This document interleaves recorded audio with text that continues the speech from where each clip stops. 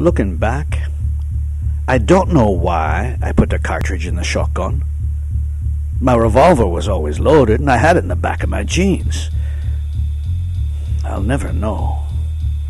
But it was one of the luckiest tins I ever did.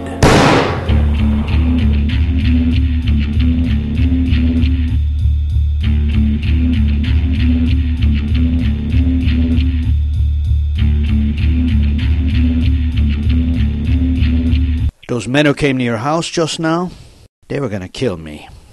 And they were going to kill you. They'll have gotten out of there without leaving a whole lot of clues. They're old time convicted rogues, and they know what they're doing.